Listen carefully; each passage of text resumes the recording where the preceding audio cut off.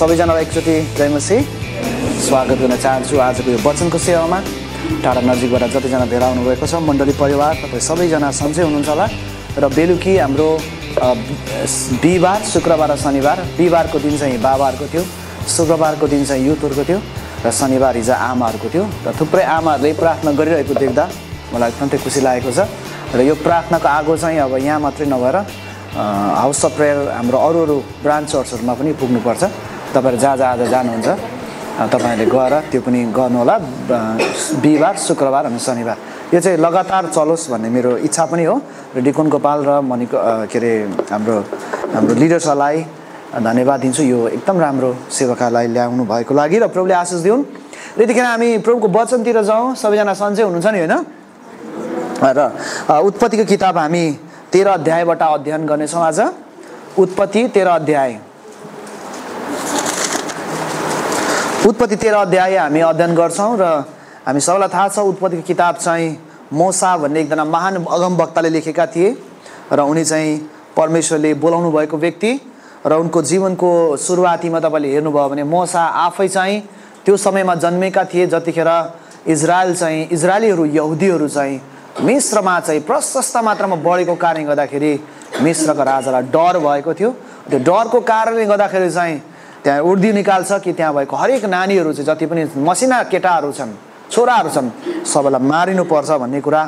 उर्दी निकाल्दा मोसाको पनि मिश्रमा जन्म भएको हुन्छ प्रवासमा नै उनको जन्म हुन्छ र उनको आमाले चाहिँ मेरो छोरा नमरोस् र मेरो छोरा बाँचोस् भनेर टोकरीमा चाहिँ निल नदीमा बगाइदिन्छ।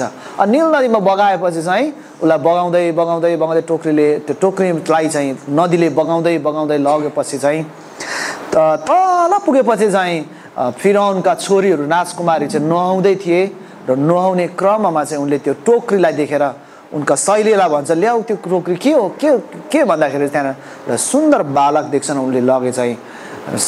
मोसालाई चाहिँ लगेर त्यस पछाडि हामी देख्छौँ। फिरौनको घरमा चाहिँ उनी पालिए राजकुमार जस्तै पालिए। राजकुमारले पाउनुपर्ने शिक्षा दीक्षा एउटा राजकुमारले पाउनुपर्ने तालिमहरू पाइसके पश्चात त्यस पछाडि उनको जीवनहरू चाहिँ मिश्रमा बितेको देख्छौँ। अनि त्यस पछाडि चाहिँ उनले चाहिँ एक दिन थाहा हुन्छ कि म चाहिँ मिश्री होइन म यहुदी हो। भन्छ। अनि एक दिन चाहिँ त्यहाँ जाँदाखेरि चाहिँ आफ्नै जातिहरूलाई चाहिँ मिश्री सैनिकहरूले कुटी कुटिकन काम लगाइरहेको देखेर त्यो असहायहरूलाई चाहिँ सहनु नसकेर मिश्री सैनिकको हत्या गर्छ र त्यो हत्या भएको कुरा चाहिँ बिस्तारै त्यो मिश्रमा फैलिन्छ जातिहरूमा फैलिन्छ। अनि त्यो थाहा पाए पश्चात चाहिँ उनी भागेर चाहिँ मिध्यान भन्ने देशमा जान्छन्। अनि मिध्यान देशमा गएपछि चाहिँ उनले एकजना केटीलाई मन पराउँछ त्यस पछाडि उनको विवाह हुन्छ। उनको दुईजना छोरा हुन्छ। ससुराली घरमा चाहिँ घर जोइ बस्छन्। अनि घर जोइमा बस्ने क्रममा चाहिँ ससुराले दिएको काम उसको जब भनौँ न नोकरी भनेको चाहिँ आफ्नै ससुराको भेडा बाख्रा चराउनु। अनि आफ्नै ससुराको भेडा बाख्रा चराउने क्रममा उनी चाहिँ परमेश्वरको पर्वतसम्म पुगे जहाँ परमेश्वरको आवाज उनले सुनेर त्यो परमेश्वरको बोलावट पाइसके पश्चात परमेश्वरले मोसालाई अचम्म रीतिले छ लाख इजरायलीहरूलाई चाहिँ मिश्र देशबाट निकाल्नको लागि ठुलो जिम्मेवारी परमेश्वरले दिनुभएको थियो। हामी सबैजनाले आमेन भन्नुपर्छ। त्यस कारणले गर्दाखेरि यो पुस्तक चाहिँ उत्पत्तिको पुस्तक चाहिँ यो मोसाले लेखेको। जब तपाईँले एक अध्यायमा पढ्यो भने के देख्नु भन्नुहोस् त उत्पत्ति एक अध्यायमा चाहिँ परमेश्वरले कसरी यो पृथ्वीलाई बनाउनु भयो अनि सुरुवातमा तपाईँले देख्नुहुन्छ आदिमा परमेश्वरले आकाश मण्डल र पृथ्वी सृष्टि गर्नुभयो भन्छ। इङ्ग्लिसमा चाहिँ in the beginning God created the heavens and the earth भन्छ। यहाँ चाहिँ आकाश मण्डल लेखेको छ। इङ्ग्लिसमा चाहिँ स्वर्गहरू र पृथ्वी बनाउनु भयो भन्छ। अनि यसको सुरुवात चाहिँ परमेश्वरको परमेश्वरले सृष्टि चाहिँ कसरी गर्नुभयो त्यसको वर्णनबाट सुरु हुन्छ भने यसको अन्त चाहिँ एउटा दुःखदायी घटनाबाट अन्त भएको छ। त्यो तपाईँले देख्नुहुन्छ। मिश्रमा परमेश्वरले अगाडिबाट पठाउनु भएको योसेफ जसको कारणले गर्दाखेरि चाहिँ थुप्रै मानिसहरू बाँचेका थिए अनिकालबाट बाँचेका थिए र योसेफ आफै चाहिँ याकोको बाह्रजना छोरा मध्येमा एकजना छोरा थिए र उनले सपना देखेका थिए कि उनले बा उनले सबैजना खेतबारीमा बिटा आफ्नो के भन्छ त्यही गाउँ होइन जाउँ भनौँ न धान काट्दै थिए। त्यस पछाडि चाहिँ उनको बिटालाई चाहिँ उनको दाजुभाइको बिटाले आएर दण्डोत गरिराखेको देखेको कुरा चाहिँ आफ्नो दाजुलाई भन्छ र दाजुले त्यो सपनाको आफै अर्थ निकाल्छ र भन्छ ए तेरो बिटाले चाहिँ हाम्रो बिटालाई दण्डोट गरेको? लाकेस पर्खी भनेर चाहिँ। उनीहरूले के सोच्छ त भाइ हो त भाइ हो। र हाम्रो दण्डवत गर्नुपर्ने हाम्रो कुरा सुन्नुपर्ने हामीले तेरो कुरा सुन्नुपर्ने भन्ने सपनाको अर्थ हो त। त्यस पछाडि चाहिँ यो योसेफ चाहिँ यहाँ पुगे। पछाडि कनानमा एउटा ठुलो अनिकाल सँगसँगै याकुब पनि आफ्नो बाह्र चेला छोरा सँगसँगै प्रवास भएर चाहिँ मिश्रमा गएका थिए। अनि त्यस पछाडि बाइस तपाईँले उत्पत्ति पचास अध्यायको बाइसमा हेर्नुभयो भने चाहिँ एउटा दुःखदायी घटनाबाट अन्त हुन्छ। त्यो दुःखदायी घटना चाहिँ के छ त? योसेपको मृत्यु भन्छ तपाईँको बाइबलमा के लेखेछ हेर्नुहोस् त मेरो बाइबलमा चाहिँ योसेपको मृत्यु भनेको छ अनि योसेपको मृत्यु भए पश्चात मृत्यु सँगसँगै यो उत्पत्तिको किताब चाहिँ अन्त भएको छ र उत्पत्ति किताबमा परमेश्वरले कसरी आफ्ना मानिसहरूको लागि एउटा जातिलाई खडा गर्नको लागि चाहिँ बाह्र अध्यायमा चाहिँ परमेश्वरले अब्राम भन्ने व्यक्तिलाई बोलाउनु भयो र परमेश्वरले एक बाह्र अध्यायको एक पदमा चाहिँ परमेश्वरले चाहिँ अब्रामलाई बोलाउनु भएको छ र परमेश्वरले भन्नुभएको छ तेरो देश र तेरो कुटुम्ब र तेरो पिताको घरबाट निस्केर म जला म तँलाई जुन देश देखाउँछु त्यो देशमा जा अनि दुई पदमा चाहिँ परमेश्वरले जब अब्रामलाई बोलाउनु भयो एउटा प्रतिज्ञाको साथमा बोलाउनु भएको छ। अनि त्यो प्रतिज्ञा तपाईँले दुई पद हेर्नुहोस् त के लेखेको छ म तँबाट एउटा ठुलो जाति खडा गर्नेछु भन्नुभएको छ। त्यो तँलाई म प्रस आशिष दिनेछु। म तेरो नाउँ प्रसिद्ध गराउनेछु। त आशिषको मूल हुनेछ। तिन पद तपाईँले हेर्नुभयो भने यस्तो लेखेको छ तँलाई आशिष दिनेहरूलाई म आशिष दिनेछु र श्राप दिनेहरूलाई श्राप दिनेछु। तँद्वारा नै पृथ्वीको सबै कुलले आशिष पाउनेछन् हामी। सबैजना मिलेर आमेन भन्नुपर्छ। परमेश्वरले जब अब्रामलाई बोलाउनु भयो एउटा प्रतिज्ञाको साथमा बोलाउनु भयो अनि जतिजना अब्राममा जोडेका छन् तिनीहरू पनि प्रतिज्ञाका सन्तान कहलाएका छन्। हामी त को हौ को थियो तर बनसाई भन्छ नि होइन? लगेर चाहिँ परमेश्वरले हामीलाई एउटा अर्कै रु आँपको रुखमा एप्पलको रुख चाहिँ लगेर जोडिदिन्छ नि। त्यस्तै परमेश्वरले गर्नुभयो। अब्रामसँग लगेर चाहिँ हामीलाई जोड्नु भयो त्यस कारण तपाईँ हामी सबै चाहिँ न त ठुलो जाति हौ न त सानो जाति हौ। हामी सबैजना अब्रामको सन्तान हौ। आमेन। अनि हामी सबै अब्रामको सन्तानहरू अब्रामद्वारा नै हामी आशिष पाएका छौँ र हामी सबैले यो विश्वास गर्नुपर्छ अब्रामको सन्तान हो भने हामी पनि आशिषको हकदारहरू हौ। र अब्रामलाई जुन प्रतिज्ञा गर्नुभएको थियो प्रत्येक प्रतिज्ञा चाहिँ हाम्रो जीवनमा पनि छ अनि त्यो प्रतिज्ञालाई बोकेका मानिसहरू हौ। अनि उत्पत्ति बाह्र दिएको एक पत्ता परमेश्वरले अब्रामलाई बोलाउनु भयो एउटा प्रतिज्ञाको साथमा बोलाउनु भयो। अनि त्यसपछि चार अध्यायमा तपाईँले चा बाह्रको चारमा हेर्नुभयो भने यसकारण परमप्रभुले भन्नुभयो जुन अब्राम गइहाले र उनको भतिस लोत पनि उसँग गए र हारानबाट निस्केर जाँदा अब्राम पचहत्तर वर्षको थियो। पचहत्तर भनेको जीवनको चाहिँ अन्तिम क्षण हो। अहिले भन्छ पचहत्तर मरि पनि हाल्छ मान्छेहरू। हामी थाहा छैन पचहत्तर बाँच्छौँ कि बाँच्दैनौँ। तर पचहत्तर वर्षको उमेर परमेश्वरले बनाउनु भयो र परमेश्वर पचहत्तर वर्षको बोलाउन परमेश्वरले बनाउनु भयो। पच्चिस वर्ष पछाडि मात्रै अब्रामको छोरो भयो। एक सौ वर्षको उमेरमा छोरो भयो र साराको चाहिँ गर्भसाय हुन्छ नि गर्भ बस्ने जुन चाहिँ स्त्रीको गर्भ हुन्छ नि त्यो चाहिँ सुकिसकेको थियो भन्छ। तर परमेश्वरले उनको गर्भलाई खोल्नु भयो र परमेश्वरले उनको गर्भलाई आशिष दिनुभयो र उनी पनि वृद्ध अवस्थामा एउटा छोरो जन्माए जसको नाम चाहिँ इसाको भन्छ। हामी यो विश्वास गर्नुपर्छ कि मानिसमा जे असम्भव छ त्यो परमेश्वरमा सम्भव छ भन्ने कुरा हामीलाई थाहा हुनुपर्छ। हामी जे गर्न सक्दैनौँ त्यो परमेश्वरले गर्नुहुन्छ र हाम्रो जीवनबाट जे गर्न नसक्ने अवस्थामा हुन्छ परमेश्वरले त्योमा परमेश्वरले गर्नुहुन्छ भन्ने कुरा विश्वास हो। एक सौ वर्षमा नानी जन्म्यो भने के भन्छ? लोदर लाग्यो भन्छ होइन हाम्रो समाजमा? तर एक सौ वर्षको उमेरमा होइन बुढेसकालमा नाता नातिना पनाती खेलाउने खनाती जनाती खेलाउने बेलामा चाहिँ अब्राहमको छोरो भएको छ। अनि त्यो छोराको नाम चाहिँ इसाको अनि इसाक चाहिँ करारका छोरा थिए अथवा प्रतिज्ञाका छोरा थिए भन्छ। जब तपाईँले चाहिँ यहाँनिर दुईजना व्यक्तिलाई परमेश्वरले बोलाउनु चाहिँ परमेश्वरले करारको साथ बोलाउनु भएको चाहिँ अब्राम हो। तर अब्राम सँगसँगै लुतनको श्रीमती पनि अब्रामको पछि पछि लागे। जब तपाईँले हेर्नुभयो भने तपाईँले देख्नुहुन्छ कि अब्राम चाहिँ जहाँ जहाँ गए तिनले परमेश्वरको निम्ति वेदी बनाए भन्छ। आमेन।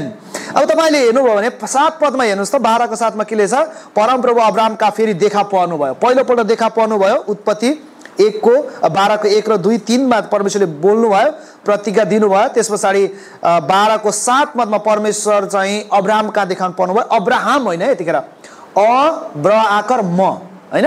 अब्राम मात्रै हो। एब्राम एब्राहम होइन। के हो? अब्राम अब्राम थियो त्यतिखेर। तर पछाडि चाहिँ अब्राहम भएको अनि परमेश्वर दोस्रो पटक अब्रामका देखा पर्नुभयो र परमेश्वरले त्यसलाई भन्नुभयो म तेरो सन्तानलाई यो देश दिनेछु। किनभने त्यो देशमा चाहिँ उनी पुगिसकेको थियो त्यो कनान देश थियो। अनि हामी देख्छौँ यसैले तिनी तिनी कहाँ देखा पर्नु भएको परम प्रभुको निम्ति उसले वेदी बनाए। आमेन। परमेश्वरको सम्झना गरे र जहाँ जहाँ गए उनले परमेश्वरको निम्ति वेदी बनाएको कुरा हामी देख्छौँ। अनि त्यस पछाडि त्यस पछाडि चाहिँ तपाईँले अब हामी तेह्र पदतिर जाउँ बिचमा थुप्रै घटनाहरू भएको त्यो घटनातिर नजाउँ। तर आजको मेरो मुख्य खण्ड चाहिँ आज मैले बोल्न चाहेको खण्ड चाहिँ उत्पत्ति तेह्र अध्यायबाट हो। अनि यो तेह्र अध्याय चाहिँ तपाईँ घरमा गएर पनि पढ्नुहोस् अनि यो यो जति पनि तपाईँले अनलाइनबाट सुन्दै हुनुहुन्छ यो अनलाइनमा सुन्नेहरूको लागि पनि हो। र तपाईँले चाहिँ विश्वासको पाइला युट्युब च्यानलमा र फेसबुक पेजमा पनि आजको वचन म अपलोड गर्छु। भरे बेलुका तपाईँले त्यहाँ पनि गएर यो वचनलाई फेरि पनि रिपिट गरेर सुन्न सक्नुहुन्छ। र म आशा गर्छु हाम्रो मण्डलीमा हामी सबैजना एकदम ज्ञानी छौँ सबैजनाले लेख्ने डट पेन र तपाईँले नोटबुक पनि ल्याउनु भएको छ। प्रभुले धेरै आशिष दिनु तपाईँलाई र आजको मैले बोल्न चाहेको खण्ड चाहिँ उत्पत्ति तेह्र अध्याय। अनि उत्पत्ति तेह्र अध्यायको तपाईँले कथालाई पढ्नुभयो भने किनकि यता पढ्दै जानु भने एउटा परिवार चाहिँ परमेश्वरको प्रतिज्ञाको साथमा उन्नतिमा गएको छ। अर्को प्रत अर्को अर्को एउटा परिवार चाहिँ पतनतिर गएको छ। तपाईँले हेर्नुभयो भने चाहिँ एउटा पतनतिर गएको परिवार र अर्को चाहिँ परमेश्वरले प्रतिज्ञा गरेको परिवार जो उन्नतितर्फ गएको परिवार देख्छौँ। तपाईँहरू मध्ये कतिजना थाहा छ उन्नति भन्यो भने सबैलाई मनपर्छ कि पर्दैन? तर पतन मनपर्छ तपाईँलाई? तपाईँको घर जल्यो भने तपाईँ के हुन्छ? हाँस्नुहुन्छ? अँ मेरो घर जल्यो भन्नुहुन्छ र तपाईँ सबै रुनुहुन्छ। हात्ती पिटिकन मेरो घर जल्यो गुहार गुहार भन्नुहुन्छ होइन? पतन भन्ने कुरा चाहिँ आफैमा प त दन्तेन भन्नुहोस् सबैजनाले प त दन्तेन पतन। सक्यो होइन कुरा? तर जुन दिन मान्छे पतन हुन्छ नि त्यतिखेर थाहा हुन्छ पतनको चोट चाहिँ कति डर लाग्दो हुन्छ भन्ने कुरा। अनि हामी यहाँ देख्छौँ एउटा परिवार चाहिँ पतनतिर गएको छ। र एउटा परिवार चाहिँ प्रतिज्ञाको कारणले उनीहरू चाहिँ आशिषित भएको छ। त्यस कारण हामी सबैजना यो विश्वास गर्नुपर्छ। हामी पतनतिर जाने परिवार होइन तर प्रतिज्ञालाई बोकेर उन्नतितर्फ जाने परिवार हो। हामी सबैजनाले आमेन भनौँ न। हाले लुया त्यस कारण तपाईँले हामी चाहिँ पतनतिर जाँदै छैनौँ तर उन्नतितिर जाँदैछौँ। हामी ओह्रालो जाँदै छैनौँ तर उकालो जाँदैछौँ। हाले लुया को को विश्वास गर्न चाहिँ यो कुरालाई? परमेश्वर यो कुरा गरिराख्नु भएको छ। अनि पतन चाहिँ कसरी भएको छ? हेर्नुहोस् त। एउटा परिवार पतनतिर गएको छ। अर्को परिवार चाहिँ उन्नतितिर गएको छ। अनि तेह्र अध्यायको तपाईँले हेर्नुभयो भने चाहिँ परमेश्वरले चाहिँ उनीहरू दुवैजनालाई अब्रामलाई आशिष दिनुभयो। यति साह्रो धनाढ्य भयो कि यति धेरै परमेश्वरले आशिष दिनुभयो कि उनीहरूसँग चाहिँ यति धेरै प्रशस्त सम्पत्ति भए। अनि वास्तवमा चाहिँ लुत लुतलाई परमेश्वरले आशिष दिन्छु भन्नुभएको छैन र प्रतिज्ञा पनि गर्छु भनेको छैन। होइन प्रतिज्ञा पनि गरेको छैन। तल म धनी बनाउँछु भनेको छैन। तर लुत पनि लोत पनि किन धनी भयो किनभने उनले प्रतिज्ञाको व्यक्तिलाई पछ्याएका थिए। बुझ्दै हुनुहुन्छ? प्रतिज्ञाको व्यक्तिलाई पछ्याएका थिए जोसँग परमेश्वरले प्रतिज्ञा गरेर बोलाउनु भएको थियो। त्यस कारण हामीले जीवनमा जहिले पनि याद गर्नु कस्तो आत्मा भएको व्यक्तिलाई हामीले पछ्याउँदैछौँ भन्ने कुरा पनि महत्त्वपूर्ण कुरा हो। कस्तो विचारधारा भएको व्यक्तिलाई हामीले पछ्याउँदैछौँ भन्ने कुरा पनि महत्त्वपूर्ण कुरा हो। त्यस कारण त्यो विषय चाहिँ मेरो होइन तर आजको विषय चाहिँ एउटा परिवार पतनतिर अनि अर्को परिवार चाहिँ उन्नतितिर। सबैजना हामी भनौँ त एउटा परिवार कतातिर अरे पतनतिर। र अर्को परिवार चाहिँ कतातिर? उन्नतितर्फ गएको हामी देख्छौँ। अब तपाईँले पढ्दै जानुभयो भने चाहिँ पाँच पदमा तेह्रको पाँच पद के लेखेछ हेर्नुहोस् त? अब्रामको साथमा लगेको लोतका पनि भेडा बाख्रा गाई बस्तुहरू बथान र पालहरू थिए र त्यसका जमिनले त्यस जमिनले तिनीहरू दुवैलाई सँगै रहने अवस्थामा धान्न सकेनन् किनकि तिनीहरूको भेडा बाख्रा र गाई बस्तुको सम्पत्ति यति ठुलो थियो कि तिनीहरू साथ रहन रहन नसक्ने भए अब्रामलाई लोतका गाई वस्तुका गोठालाहरूको बिचमा झगडा पनि भयो। त्यस बेला त्यो देशमा कनानी र परिजीहरू पनि थिए। आठ पताउले हेर्नुभयो भने यसकारण अब्राहमले लोतलाई भने तिम्रो र मेरो बिचमा र मेरा तिम्रा र मेरा गोठालाहरूको बिचमा झगडा नहोस् किनकि हामी त नातेदार हौ। सारा देश तिम्रै अघि छ हेर्नुहोस् त। नौ पद पढ्नुहोस् कस्तो मजा छ। सारा देश तिम्रो अगाडि छ कसले भन्दैछ? अब्राहमले लोतलाई आफ्नो भतिजा भन्दछ। तिमीबाट मबाट अलग हौ। तिमी दाहिने देब्रेतिर गयो भने म दाहिनेतिर जानेछु अथवा तिमी दाहिनेतिर गयो भने म देब्रेतिर जानेछु। दस पद हेर्नुहोस् त के लेखेछ? लोतले आफ्नो आँखा उठाएर हेरेर यर्दनको बेसीतिर बेसी चाहिँ यर्दनको बेसी चाहिँ परमप्रभुको व्यवस्था अथवा स्वारतिरको मिश्र देश जस्तै तारैतिर प्रशस्त पानी भिजेको थियो। जुन चाहिँ सदम र गमरालाई नष्ट गर्न अगाडिको कुरो। यसकारण लोतले यर्दनको जम्मै बेसी रोजेर पूर्वतिर लागे यसरी तिनीहरू छुट्टिए। अब बाह्र पद चाहिँ महत्त्वपूर्ण छ। हेर्नुहोस् त क्लियर छ पर अब्राहम चाहिँ कनान देशमा नै बस्न लागे लोत चाहिँ बेसीको सहरमा बास गरे तिनी आफ्नो पाल सदोमसम्म सारे भन्छ हेर्नुहोस् त। एउटा प्रतिज्ञा नगरेको व्यक्ति चाहिँ हेर्दाखेरि सबै परमेश्वरको बगैँचा जस्तो हरियालीमा सरेर गए। तर अब्राहम चाहिँ त्यहीँ बसे जुन देशमा परमेश्वरले प्रतिज्ञा गर्नुभएको थियो। अनि परमेश्वरले भन्नुभएको थियो म तेरो सन्तानलाई यो देश दिनेछु र अब्राहम चाहिँ परमेश्वरको प्रतिज्ञाको देशमा नै बसिरहने इच्छा गरे। तर अर्को एउटा परिवार चाहिँ लोत र उनको परिवार चाहिँ परमेश्वरको प्रतिज्ञाको देशमा होइन। तर उनी चाहिँ सदोमसम्म सारे आफ्नो सिमाना र परमप्रभुले बनाउनु भएको त्यो बगैँचा जस्तै सुन्दर ठाउँमा झरे। उनीहरू चाहिँ सरे। हेर्दा रमाइलो ठाउँ हेर्दा सबै अत्यन्त मजाको ठाउँ। तर के भन्नुहोस् त? परमेश्वरको प्रतिज्ञा बिनाको ठाउँ हो। त्यस कारणले गर्दा सायद पनि हाम्रो जीवन चाहिँ हामीसँग यसो हेर्दा केही देख्दैनौँ। तर एउटा कुरा जहिले पनि मण्डलीले याद गर्नुपर्छ। तपाईँले हामी चाहिँ परमेश्वरको प्रतिज्ञालाई बोकेको मान्छे भन्ने कुरो याद गर्नुपर्छ।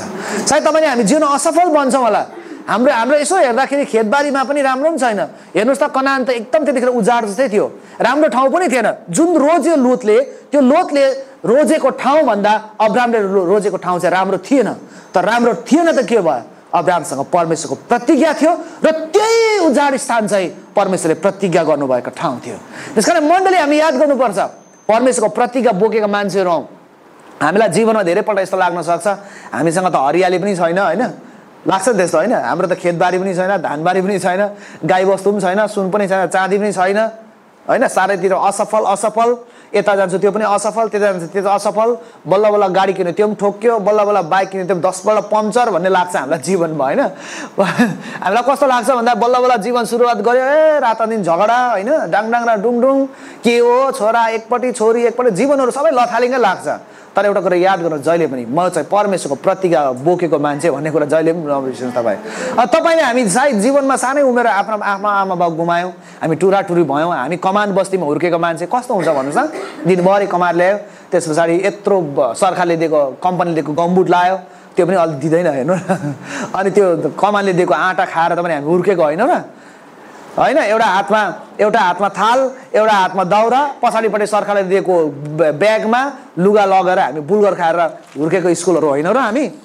हाम्रो जीवनको सबै कुरो राम्रो छैन तर परमेश्वरले अन्तिममा गएर परमेश्वरले हामीसँग जोडि हामीलाई चाहिँ अब्रामसँग जोडिदिनु भएको कारणले गर्दाखेरि तपाईँ हामी पनि प्रतिज्ञाका व्यक्ति हौ। आमेन। सायद हामीलाई सबै कुरो नरमाइलो लाग्न सक्छ सबै कुरो नराम्रो हुनसक्छ तर तपाईँ हामी चाहिँ प्रतिज्ञा बोकेको व्यक्ति रहौँ परमेश्वरले हामीलाई प्रतिज्ञा गर्नुभएको छ। म तँलाई कहिले पनि छोड्ने छैन। अब हेर्नुहोस् त परमेश्वरको प्रतिज्ञा बोकेको व्यक्ति जहिले पनि उकालो लाग्दछ तर परमेश्वरको प्रतिज्ञा विहीनको व्यक्ति चाहिँ कहाँ जाँदैछ? ओह्रालो लाग्दैछ। तर थाहा छ उनको जीवनको कष्ट र समय समस्या चाहिँ कहाँबाट सुरु भयो? सदोमसम्म। उसले आफ्नो काकाबाट छुट्टिएर आफ्नो पाल पाल भने के हो? बस्ने ठाउँ। कहाँसम्म लगे? सदोमसम्म। सदोमका मान्छेहरू कस्ता थिए? नराम्रो थियो। तपाईँलाई थाहा छ कि छैन? तपाईँ बाइबल राम्रो पढ्नुहोस् मसँग समय छैन। म यति भन्छु। उनका लुतका दुईजना छोरीहरू थिए। दुईजना लुतको छोरीहरू चाहिँ लत कोसँग पऱ्यो भन्नुहोस् त। कोसँग परेको छ? सदमको केटाहरूसँग। अनि सदमको केटाहरू कस्ता थिए? भ्रष्ट थिए। एक दिन तपाईँले देख्नुहुन्छ अब्राम बसिरहेको थियो आफ्नो पालमा। अनि पर दुईजना मान्छे देख्छ। अनि उनीहरूलाई बोलाउँछ। खुवाउँछन् मजाले खाइसके पश्चात त्यो व्यक्तिले भन्छ ठिक अर्को साल तिम्रो एउटा छोरा हुनेछ। अनि खाइसके पश्चात उनीहरू विदा भएर सदोमतिर जान्छ। त्यो चाहिँ सदोम र गोमरा नष्ट गर्नुभन्दा अगाडिको वास्तवमा ती मान्छेहरू थिएनन्। तिनीहरू परमेश्वरले पठाएका दूतहरू थिए। अनि तिनीहरू त्यहाँ जान्छन् अनि त्यो त्यो घट त्यो कुरा चाहिँ लोतले पनि देख्छ। अनि लोतले पनि घरमा लिएर खुवाउँछ पिलाउँछ र घरमै आज बस्नुहोस् भनेर बिन्ती गर्छ। अनि त्यो घरमा पाहुना आएको कुरा चाहिँ सदोमका मान्छेले थाहा पाउँछन्। सदमका मान्छेले थाहा पाउँछन् र सदमका मान्छेले थाहा पाएपछि के भन्छ थाहा छ? सबै केटाहरू आउँछ त्यहाँनिर। यत्र फुच्चे केटादेखि बुढो केटाहरूसँग आउँछ। तिम्रो घरमा दुईजना पाहुना आएको छ निकाल भन्छ त्यहाँको मान्छेले। त्यो भन्छ। के भन्छ त्यतिखेर थाहा छ लोतले? कृपया त्यसो नगर्नु होला मेरो पाहुनाहरू हो। त्यसो नगरिदिनु होला भन्छ। त्यतिखेर तपाईँले नि तपाईँले उत्पत्ति किताब उत्पत्तिकै किताब उत्पत्ति किताब नौ अध्यायको तपाईँले पाँच पदमा हेर्नुभयो भने के के भन्छ थाहा छ? त्यो मान्छेलाई निकाल। हामी त्योसँग भोग गर्छौँ भन्छ। हेर्नु त। केटालाई केटालाई केटाले केटालाई कहिले बलात्कार गर्छ? केटाले केटीको बलात्कार गरेर सुनेछौँ। केटीले सायद केटाको पनि बलात्कार गरेको कता कता सुनेको छ होइन? तर यहाँ के भन्छ? केटाले केटाको बलात्कार भोग भने के भने हामी उसँग सम्भोग गर्छौँ। होइन? हाम्रो यौनको प्यास त्यो व्यक्तिसँग त्यो दुईजना व्यक्तिहरूसँग मेटाउन चाहन्छु। त्यो व्यक्तिलाई निकाल भन्छ हेर्नु न। यति साह्रो दुष्ट थिए त्यहाँका मान्छेहरू। यति डरलाग्दो घिनलाग्दो मान्छेहरू त्यहाँ थिए। शब्दमा हामी वर्णन गर्न सक्दैन कि सदोमका मान्छेहरू कति घिनलाग्दा थिए भन्छ। अनि तपाईँलाई थाहा छ सदोमका मान्छेहरूको घिनलाग यस्तो ठाउँसम्म चाहिँ लुतले चाहिँ आफ्नो पाल चाहिँ टाँगे भन्छ। अनि जब टाँगे तब त्यहाँका मान्छेहरूसँग चाहिँ सम्बन्ध भयो उनको छोरीहरूको। तपाईँलाई थाहा छ परमेश्वरले सदम र गमरा नष्ट गर्नुभन्दा अगाडि चाहिँ तिम्रो ज्वाइँहरू को को छ छिटो छिटो छिटो भन तिमीहरू निक्ल भन्नुभयो। ज्वाइँको पनि त्यहाँ आएको छ कुरा। त्यतिखेर ज्वाइँहरूलाई भन्छ बरु लोतले हेर ज्वाइँ हो हुनेवाला ज्वाइँ। ज्वाइँ त भइसकेको छैन हुनेवाला ज्वाइँ। म त लभ परिसकेको छ नि त छोरीहरूको। होइन छोरीले चाहिँ म एक केटासँग बिहा गर्दिनँ गरिनँ भने त म मर्छु भनिसकेको छ नि त। होइन यो केटीसँग बिहा गर्छु एक गर्छु बिहा गरिदियो। होइन एक गर्छु बिहा गर्छु भने त नभए त म पागल हुन्छु टिस्टा खोलामा हाम फाल्छु भनिसकेपछि त बिचरा अब्रामले लोतले गर्नै परेको होला नि त होइन? सायद सम्झाएको थियो होला त्यसो नगर यो लो यहाँको सदमका मान्छेहरू राम्रो छैन। यहाँको एकदम बेहोरा खुसेको छ। यिनीहरूको व्रत बुद्धि भ्रष्ट छ यिनीहरू परमेश्वरको दृश्यमा नराम्रो छ भनेको होला। कम किनकि अब्राम लोतले त सिकेको थियो नि त परमेश्वरको आराधना कसरी गर्नुपर्छ। परमेश्वरको डर कसरी मान्नुपर्छ भनेको लोतलाई थाहा थियो। तर लोतले लोतका छोरीहरूले सायद सुनेनन् अनि त्यहाँको केटाहरूसँग लभ परे र हुनेवाला ज्वाइँ अनि मग्नी पनि सबै गरिदिइसकेका थिए। तपाईँलाई थाहा छ अनि त्यसो त्यो ज्वाइँलाई बिचरा आफ्नै छोरीले मन पराएको ज्वाइँहरू भनेर के भन्छ गएर लु ज्वाइँ हो लु परमेश्वरले सदम र गमलाई नष्ट गर्दैछ आगोद्वारा लु निक्ल्यौँ भन्दा त त्यहाँ लेखेको छ के भन्छ थाहा छ? उसको ज्वाइँले ठट्टा गरेको जस्तो लाग्छ। बुढो मान्छे ससुर बुढा सठ्याएको लाग भन्छ क्या खासमा चाहिँ। ससुर बुढा सठ्याएको लाग बुढाएको लाग त सठ्याएको लाग भन्छ। अनि बुढो भनेर चाहिँ उसको कुरा सुन्दैन। अनि तपाईँले त्यहाँ देख्नुहुन्छ तपाईँले बाइबल राम्रो पढ्नुभयो भने। अनि त्यस पछाडि उनका दुईजना छोरी र उनको श्रीमती अनि लोद चाहिँ त्यहाँबाट निक्लन्छन्। अनि परमेश्वरले भन्छ पछाडि फर्केर चाहिँ नहेर्नु भन्छ। अनि पछाडि फर्केर चाहिँ भाग्दा अब आगो चाहिँ जब झर्न लाग्यो तब तिनी एकदम पछाडि गरेर माथिबाट चाहिँ आगो दम गन्दोक चाहिँ त्यो सहरमा आएर मान्छे तर्पन लाग्यो। मलाई लाग्छ उसको श्रीमतीले पछाडि फर्केर हेऱ्यो। तुरुन्तै उसको श्रीमती चाहिँ नुनको थाम्बा भयो। नुनको खाम्बा भयो। दुईजना छोरीहरू र लोत चाहिँ पछाडि नफर्किकन अगाडि बढिरहे त्यस कारणले गर्दाखेरि उनीहरू बाँचे भन्छ तर अन्तिम क्षणमा तपाईँले हेर्नुभयो भने उनीहरूको जीवनको सङ्घर्ष उनीहरूको जीवनको अन्त चाहिँ पतन चाहिँ कसरी भयो भन्ने कुरा हामी देख्छौँ त्यस पतन चाहिँ जहिले पनि सानो कुराबाट हुन्छ त्यसैले हाम्रा छोराछोरीहरू कोसँग हिँड्दैछन् भन्ने कुरो महत्त्वपूर्ण हुन्छ तपाईँको छोरीहरू कोसँग लभ पर्दैछन् भन्ने कुरो महत्त्वपूर्ण हुन्छ जस्तो लाग्छ कतै सदमको जस्तो दुष्ट मान्छेहरू तपाईँको छोरीले ज्वाइँ मन पराएका छैनन् होइन? एकजना एकजना विश्वासी घरमा गएको थिएँ अनि उहाँले भन्नुभयो पास्टर बाउ प्रार्थना गरिदिनुहोस् न। भन्नुभयो के को लागि? छोरीको लागि? भन्नुभयो। अनि के के भयो भनेको हेर्नु न अनि जाति छोरा मन पराएको छ के गर्नु? ज्वाइँ मन पराएको छ। तर के गरौँ गरौँ भइरहेछ। गभर्मेन्ट नोकरी रहेछ राम्रै कमाउँछ। भन्नुभयो। अनि के गर्ने गर्ने हेर्नु न। त्यस पछाडि के गर्ने त अनि? अन्त मैले भने अब गभर्मेन्ट नोकरी गरे पनि त्यो चाहिँ अब बाइबलले दिँदैन। यो चाहिँ गलत नै हो बहिनी। मैले भन्थेँ। अब के भन्नु? बहिनी मन दुखायो होला होइन? पछाडिको समयमा त्यो बहिनी फर्केर पनि हेरेन। पछाडि देख्दा पनि हेर्नु पनि हेर्दैन थियो किन उनको उनको इच्छाको विरुद्ध मैले कुरा गरिदिएँ त्यस कारणले गर्दाखेरि चाहिँ उनी मसँग बोलेको छैन। पहिला फेसबुक फ्रेन्डमा कोही कोही हेलो दादा जय मसी भन्थ्यो। अहिले त भन्दैन पनि। मैले पनि भनेको छैन किन भनिबस्नु होइन? त्यस पछाडि चाहिँ उनले चाहिँ अब अन्य जाति केटासँग विवाह गर्ने सोच राखे। र त्यो चाहिँ राम्रो होइन हाम्रा छोरीहरू। कोसँग विवाह गर्न लागेका छन् भन्ने कुरा पनि याद गर्नुपर्छ। किन भन्दाखेरि तपाईँलाई थाहा छ जब उनीहरू त्यो अन्य जाति केटासँग लभ परेर उनीहरूको मङ्गनी भयो सायद होइन? अनि त्यहाँको ज्वाइँ हुनेवाला ज्वाइँ थिए। त्यस कारण दूतहरूले भन्छ तिम्रो ज्वाइँहरूलाई पनि छ भने भन भन्छ। निक्ल परमेश्वरले अनुग्रह त गर्नुभएको तर के भयो त? भन्दाखेरि चाहिँ तिनीहरूले चाहिँ पत्याएनन् अनि अन्तमा गएर के भयो त? नष्ट भयो उनीहरू। होइन? उनीहरू पनि मरे ज्वाइँहरू पनि मरे। बिचरा छोरीहरू कति लभ परे कति माया गरेको थियो होला। होइन गिलासमा कमलको फुल त पत्तर चाहिँ तोडिदियो भनेर कति होला है कति वियोगमा बसेको थियो होला मन पराएर। तर अन्तमा गएर उनीहरू नष्ट भए र त्यस पछाडि हामी देख्छौँ र छोरीहरूले चाहिँ त्यो सबै नराम्रो कुराहरू चाहिँ सदोमबाट सिकेको थिए। सदोममा भएको त्यो कल्चरलाई त्यो संस्कृतिलाई त्यहाँ भएको नराम्रो कुरा र घिनलाग्दो कुराहरूलाई चाहिँ उनीहरूले आफ्नो जीवनमा एडप्ट गरेका थिए। किनभने त्यो गल्ती चाहिँ उनको बुबाले गरे किनभने बुबाले चाहिँ आफ्नो पाल चाहिँ सदोमसम्म सारे। अनि सदोमबाट चाहिँ नराम्रो स्पिरिटहरू नराम्रा कुराहरू आए। त्यस कारण हामी भन्छौँ हाम्रो छोरीहरू चाहिँ हाम्रा छोरी उधार पाएका छोरीहरू चाहिँ उधार नपाएको घरनामा विवाह गर्नु हुँदैन त्यस कारण भन्छ। एकजनाले भन्थ्यो कहाँ लेखेको छ बाइबलमा भन्छ होइन? कहाँ लेखेको छ? भन्छ अब उल्टा खेप्ने मान्छेलाई त जसै भन्दा पनि सम्झाउनु सक्दैन खास त्यो जब मान्छेको आँखा यता नभएर फुत्तै निक्लिन्छ यता निक्लिन्छ तब जति गरेर अगाडि देख्दैन पछाडि मात्रै देख्छ नि त होइन? मेरो बाख्राले त कहिले घाँस खाएन भनेर मालिकको पालो हरियो चस्मा लगाइदिएछ अरे क्या। त्यसो भए भोलिपल्टदेखि त बाख्राले त कुपु कुपु त्यो सुकेको घाँस पनि खान थालेछ कि धेरैपल्ट चाहिँ मान्छेको त्यो सैतन हरियो चस्मा लगाइदिन्छ कि। नराम्रै मान्छे पनि राम्रै देख्छौँ क्या। अनि विवाह गरिसकेपछि मात्रै पस्छ पस्ताउँछ। ए यो मान्छेको बेहोरा चाहिँ यस्तो रहेछ खुस्केको रहेछ भने त्यतिखेर पनि थाहा हुन्छ हामीलाई। हामी चाहिँ अनि त्यस पछाडि हामी देख्छौँ यो सबै नराम्रो कुराहरू चाहिँ कहाँबाट सिके त? सदोमसम्म सदोमका मानिसहरूबाट सिक्यो अनि त्यहाँका केटाहरूलाई मन पराए। अनि यो परिवार चाहिँ बिस्तारै पतनतिर जाँदैछ। हेर्नुहोस् त तपाईँले नक्सा के देख्दै हुनुहुन्छ? लोतको परिवारको नक्सा। बिस्तारै पतनतिर जाँदैछ। अनि अन्तिममा गएर के भन्छ थाहा छ? आमा पनि मऱ्यो हाम्रो छोराहरू पनि छैन। हामीलाई पनि कसैले बिहा गर्दैन भन्छ त्यस पछाडि छोरीहरूले। त बाहिर पढ्नुहोस् न। हामीलाई कसैले बिहा गर्दैन? बहिनी अब के गर्नु? भनेर त्यो बाउलाई मताएर चाहिँ उनीहरूसँग नराम्रो सम्बन्ध राखेर मुहाबीहरू जन्मेको कुरा तपाईँलाई थाहा छ कि छैन बाइबलमा? हेर्नुहोस् त।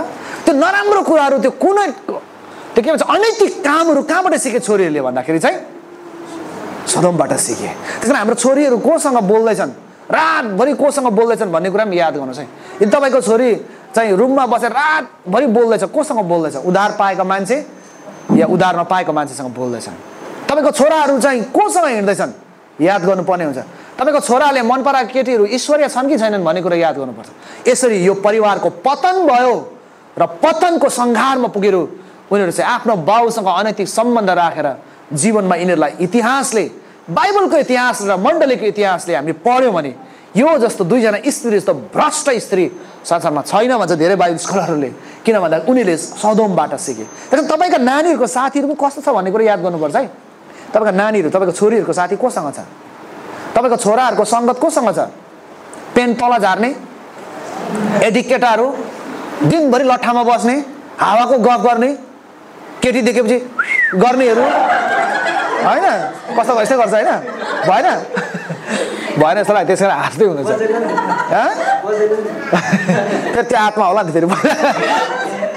स कस्तोसँग छ भन्ने पनि महत्त्वपूर्ण कुरा त्यस कारणले गर्दाखेरि लोतले चाहिँ मेरो छोरीहरू चाहिँ कोसँग गफ गर्दैछन् भन्ने कुरा याद गरेन। अनि यही घटना चाहिँ तपाईँले हेर्नु भने याकुबको जीवनमा भएको छ। याकुबको छोरी दिना थियो। तपाईँलाई थाहा छ कि छैन? दिना के भयो? दिनाको कारणले गर्दाखेरि आफ्नो दाजुहरू हत्यारा भए। दिना चाहिँ फुर फुर फुर दुईपट्टि कपाल बाँधेर क्या नक्कली भएर। त्यो अर्काको देशमा अर्काको गाउँमा कसले घुम्नु पर्यो आफ्नै दाजुको घरमा त्यस कारण छोरीहरू बेसी बाहिर हुँदैन घरमै बस्नुपर्छ भनेको कारण त्यो हो। छोरी मिची बेसी लखर लखर लखर घर बन्यो भने दुनियाँको कुरा गर्ने हुन्छ।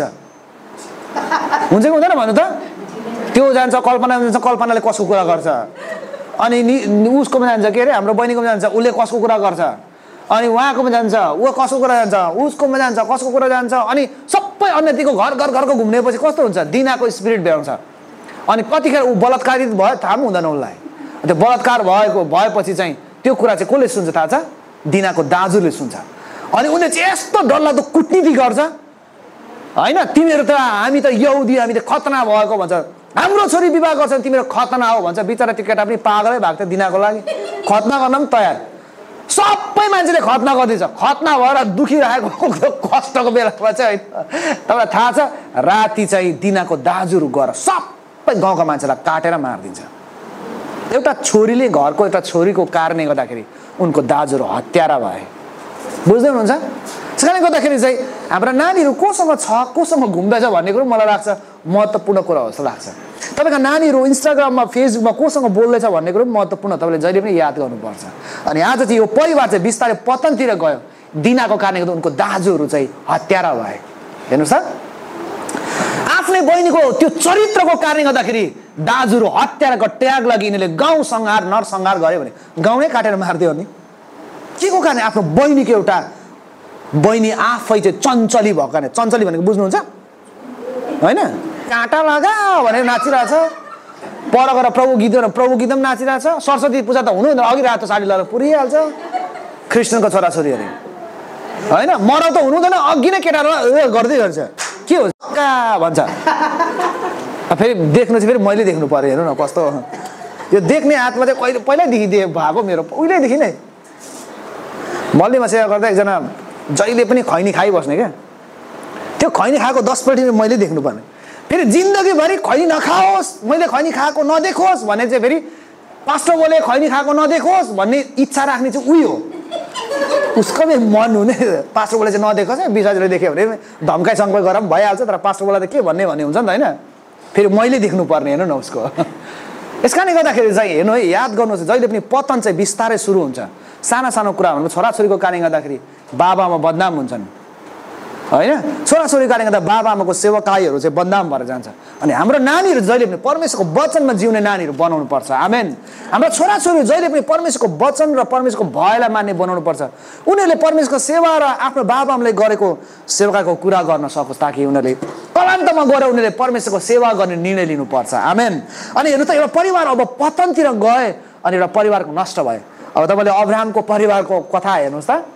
छोरा ठुलो भयो। सबैको छोरा ठुलो हुन्छ। छोरा चाहिँ लुतको छोरीहरू जस्तो थिएन। पल्लो गाउँको गो केटाहरूलाई गएर मन पराउने। पल्लो गाउँमा गएर चाहिँ चिठी लेख्ने। होइन? फुल भयो फुलिदिन्थे तर काँडा भएछु धनी भयो तिमीलाई म सुनको गाडी दिन्छु तर के गर्नु? गरिब भएछु भन्थ्यो अरे के? त्यस्तो भयो। तर अन्तमा गएर उनीहरू त्यस्तो भयो। तर इसाक चाहिँ आफ्नो बाबा आमाको अधीनतामा हुर्के र बाबा आमाले कसरी परमेश्वरको सेवा गर्छ कसरी वेदी बनाउँछ भन्ने कुरा सिक्यो इसाकले चाहिँ। हालेलुया भनौँ न। तपाईँलाई थाहा छ उत्पत्ति बाइस अध्यायमा आइपुग्दा यत्रो केटाले के भन्छ एउटा प्रश्न गर्छ। बाबुलाई थाहा छ के प्रश्न गरेको छ? बुबा हामी बलिदान गर्न जाँदैछौँ परमेश्वरको निम्ति। ठिक छ? अनि दाउरा पनि छ आगो पनि छ होइन? सबै कुरो तयार छ तर बलिदानको निम्ति थुमा खोइ भन्छ। यत्रो फुच्चे कसरी सिक्यो? बलिदानको लागि थुमा चाहिन्छ भनेर। किनभने सानोबाट नै उसले परमेश्वरको सेवाकाई कसरी गर्नुपर्छ भन्ने कुरा सानो उमेरमा सिकेका थिए उनले। त्यही कारणले गर्दाखेरि परमेश्वरको बलिदानको निम्ति के के चाहिन्छ भन्ने कुरा जम्मै थाहा थियो।